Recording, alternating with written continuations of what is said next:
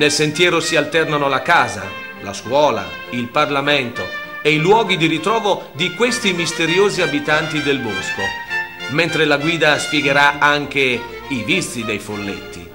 Perché, attenzione, comportatevi bene e rispettate l'ambiente, proprio perché i folletti sono dispettosi e riconoscono subito gli amici del bosco. A San Martino la gente si gode le feste della primavera e dell'estate, ricche di svaghi. C'è addirittura una parete attrezzata per le scalate e Nico, il responsabile, si diverte a portare a spasso i ragazzi con i suoi asinelli. Ma torniamo a Urbania, un chilometro dalla città dove imponente si mostra il barco, già luogo di caccia dei duchi, frequentato da poeti e umanisti della corte.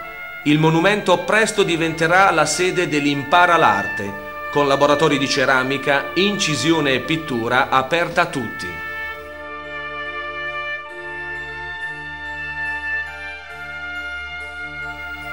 Qui è allestita un'accogliente area attrezzata per camperisti, e dal verde del parco all'ombra del bel campanile si ammira il borgo di Peglio, sentinella della vallata a 540 metri d'altezza. Siamo fra le dolci colline metaurensi segnate da querce e tigli che spesso ospitano fra le radici il pregiato tartufo. Nel cammino per l'alta valle, la collina ci accompagna salendo dai Campi Dorati fino al castello di Peglio, di origini romane, il borgo è dominato dalla Torre del Girone, da dove si gode un vasto panorama dell'Appennino fino ai confini di regione. Subito ci viene incontro la luminosa Urbino, capitale del Ducato, con il suo palazzo dalle mille suggestioni, opera di Federico da Montefeltro, perfetta figura del Rinascimento. Dai torricini lo sguardo spazia come il respiro universale della città ideale di Piero della Francesca e di Raffaello.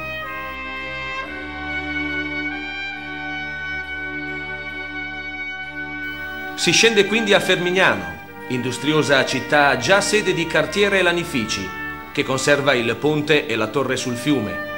Secondo la tradizione, questo è uno dei luoghi della storica battaglia del Metauro, 207 a.C., che vide la vittoria dei Romani sul cartaginese Asdrubale, fratello di Annibale. Sì, l'acqua da sempre incide queste valli, come vicino a Fermignano dove il fiume Candigliano forma la gola del Furlo, riserva naturale e luogo privilegiato per sentieri ed escursioni, ricco di flora e fauna protetta, dove vola la possente aquila reale. Risalendo il Candigliano si incontra subito Acqualagna, una delle capitali del pregiato Tartufo, sede di una fiera famosa. Poco dopo, seguendo l'antica strada Flaminia per Roma, si scoprono i palazzi e la possente rocca di Cagli. Ritorniamo nella Valle del Metauro, fiume più ricco di storia che d'acqua. Pianura e collina si susseguono accoglienti, fino ai monti di confine, mentre ci vengono incontro campi colorati mossi dal vento. La cascata del Sasso, la più estesa dell'intera regione, ci aspetta a due passi da Sant'Angelo in Vado, la romana Tifernum Metaurense, ricca di storia, splendidi mosaici e altra capitale del Tartufo. Immersa tra le colline, Sant'Angelo in Vado è stata capitale della Massa Trabaria, patria dei pittori fratelli Zuccari e di Papa Clemente XIV. È un piacere scoprire le sue vie signorili, i nobili palazzi e le importanti chiese. Il centro storico presenta monumenti di varie epoche, dal trecentesco Palazzo della Ragione alla torre civica alla settecentesca cattedrale.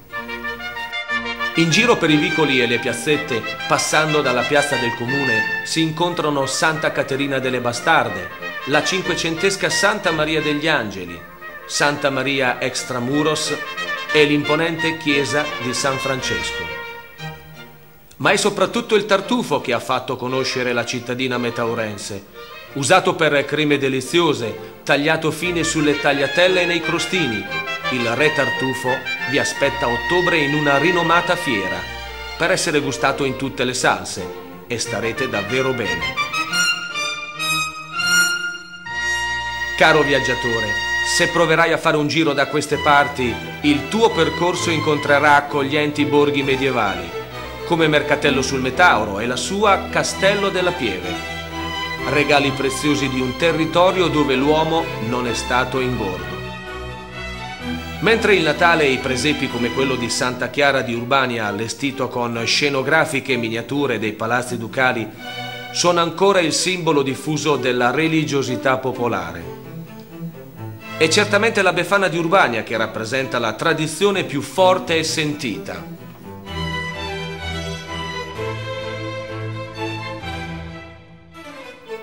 Ogni anno dal 2 al 6 gennaio c'è una grande festa nazionale, la mitica Befana Burga ha anche il suo sito internet www.labefana.com dove riceve migliaia di letterine dai bambini di tutto il mondo.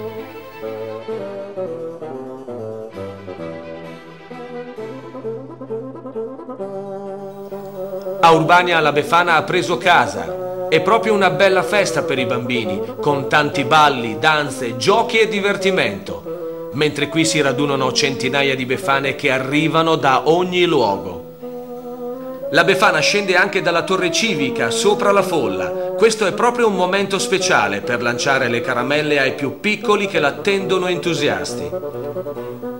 Tanta gente, turisti, visitatori, camperisti, curiosi e famiglie intere vengono a Urbania, perfino dall'estero, a trovare la Befana. La buona vecchina riceve i bambini e a tutti dispensa doni e un po' di carbone per ricordare qualche marachella. Per questo vi aspettiamo nella piccola città di Urbania, l'antica Casteldurante, dove storia, tradizione, gastronomia e soprattutto il calore della gente vi faranno proprio stare bene. Statene sicuri.